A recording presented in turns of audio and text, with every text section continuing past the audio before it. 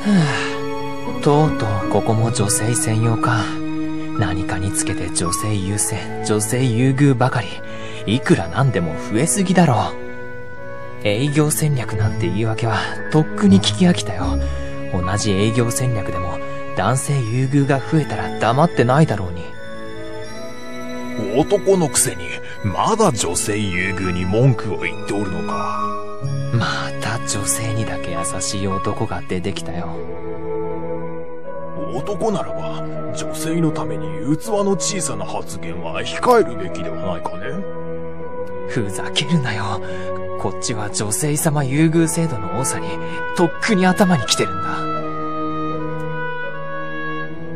アファーマティブアクション導入企業はすでに3割を超え、法科大学院や研究員、教員の採用でも女性優遇制度は実施され、選挙ですらその対象にされつつあるんだ。大学の女子学生優遇もひどい。営業戦略の名のもとに正当化しているが、同じ学費を払っていてこの扱いの差は差別と言っていいだろう。そんな優遇を受けながらも、専業主婦志向の女性も多い。しかもあるインターネット調査によると、妻のへそくりは平均で346万5千円。ボーナスが出ても夫には渡さないがトップというデータもある。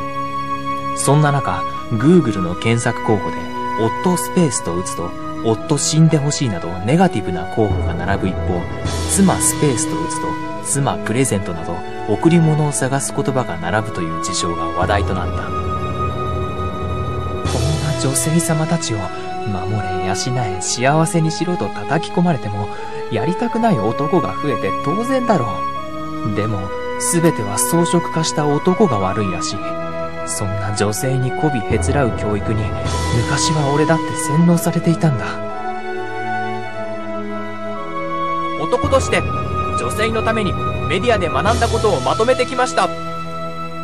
男などという動物は、弱くて子供で単純で、バカで無策て間違っている生き物です。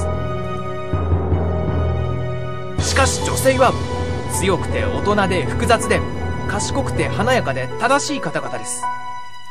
そんな女性を、男は守り養い幸せにし、荷物を持ち車道側を歩き、食事をおごるのがマナーです。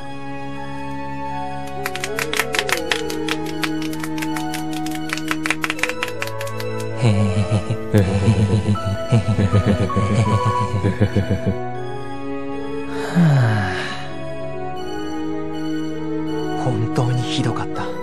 逆らうことも、疑うことも許されないのだから。やはり女性は強いな。男などでは太刀打ちできんのだ。強いだってこんなひどい格差を賛美して正当化するのかあんたは前にも鬼嫁は暴力じゃなくて女性の強さだって言ったよな。おかしいだろ！強さという不当な賛美にすり替え正当化するのはなぜなんだ！男尊女卑を大問題にしておきながら女尊男卑を正当化するのは一体なぜなんだ！そ、それは女性が長年差別されてきたからだろ男ならごちゃごちゃ抜かすな。男は男で男のくせにと差別されてきただろう。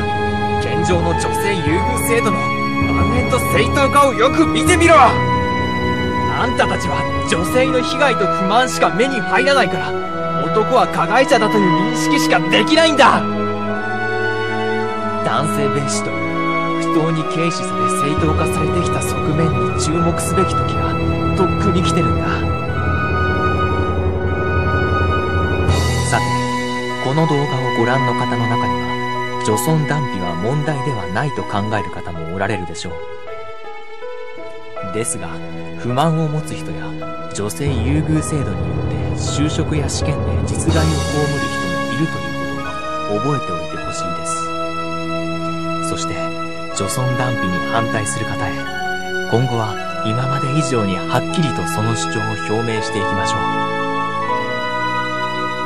一つ一つは小さくてもみんなの声が集まれば大きな力になります現に九州の国立経大学の数学科では一度発表した女性枠を撤廃していますこのように少しずつでも共に社会の歪みに声を上げていきましょう。アンチ・ジョソン・ダンピです。